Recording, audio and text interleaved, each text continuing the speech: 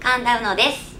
ショートショートフィルムフェスティバル。10周年。大変おめでとうございます。私にとってのショートフィルムとは、えー、忙しい、えー、生活の中で、えー、楽しめる、えエンターテインメントだと思っております。ショートショートフィルムフェスティバル、え心から応援しています。これからも応援し続けます。Life is short